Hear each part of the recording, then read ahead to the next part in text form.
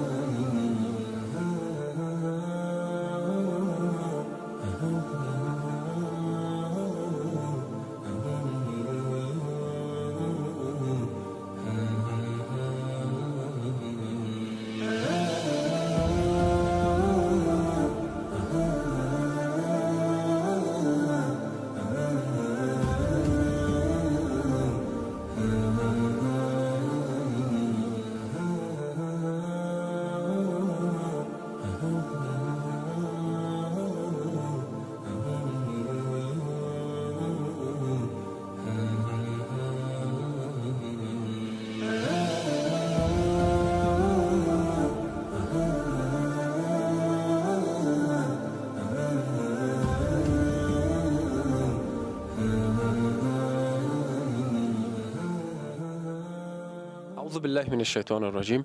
إنما يعمر مساجد الله من آمن بالله واليوم الآخر. صدق الله العظیم الحمدلله جای خوشحالی است که مسجد را که ما فاطمه توسط اسلامی کوسس دونیت کرده بودند در مرکز محمود راقی ولایت زیبای کاپیسا افتتاح شد.